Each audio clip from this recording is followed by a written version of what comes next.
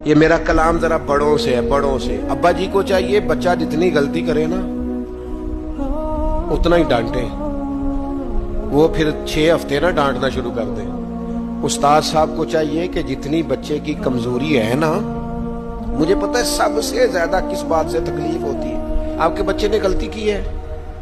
आप अपने बच्चे को डांट लें, समझा लें। आप किसी और के सामने उसकी तजलील कभी ना करें। ये ज्यादती वाली बात है। आप उसे रुसवा ना करें। बताएँ किसी ऐसे शख्स को जिससे आपको उम्मीद है कि आपको मशवरा देगा या उसे समझाएगा।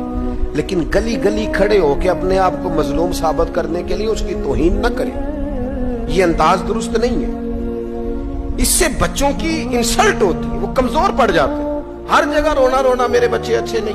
मैं बड़ा परेशान, क्या बात कर रहे हैं आप? ये बच्चा तो आपकी कमाई है, असास है, हुस्न है, नस्ल है, असल है। और इस कदर ज़्यादा तकलीफ़